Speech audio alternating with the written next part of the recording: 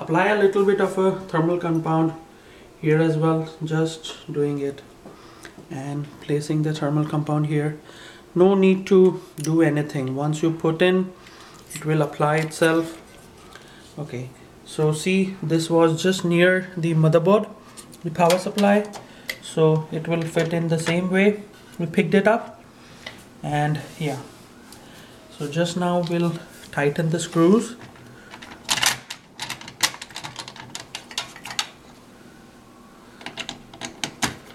while tightening the screws just make sure that you do this first and the cross section first. Oh I forgot to close down the CPU lock it will not affect anything though but it will not put in the CPU into its place. So the computer might not start. So now it's okay so now we will put in together the parts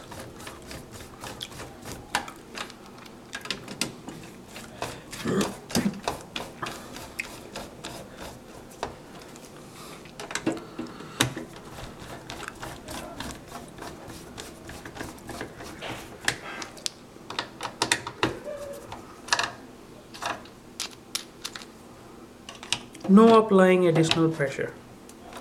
Just the way it is it's good. So we will now put in this modern card back again.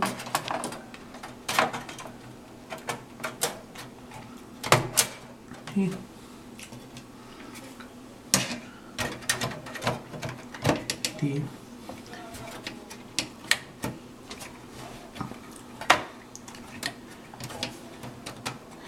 this is the card which I brought to make my convert my PC into a TV but really was not that useful.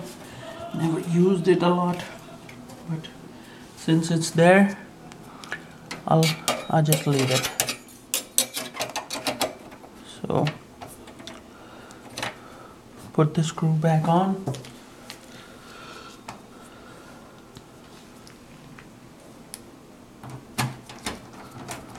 all the things pretty much fit the way they are. But if you will clean it regularly you will really see a boost in it. See we just uh, connected the CPU fan supply. Now we'll go ahead and put in the power for the front panel. We'll attach the white wire here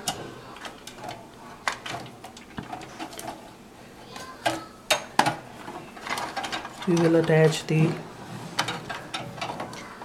CD drive cable. We will attach the SATA cables for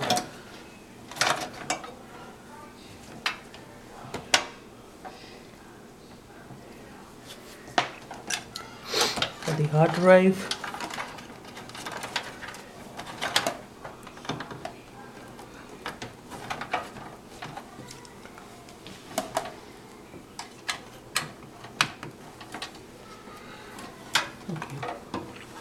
we will attach the power to the CPU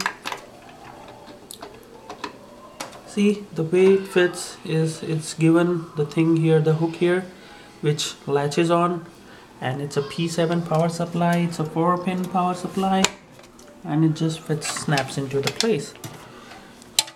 So we will now click the supply to the motherboard.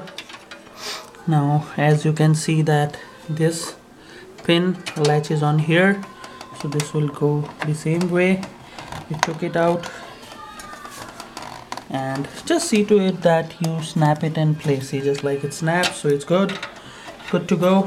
Nothing much to do. Yeah. Just make sure that you have all the supplies put back in to the thing once it's ready to go. And just remember or note down the places where you took off the things.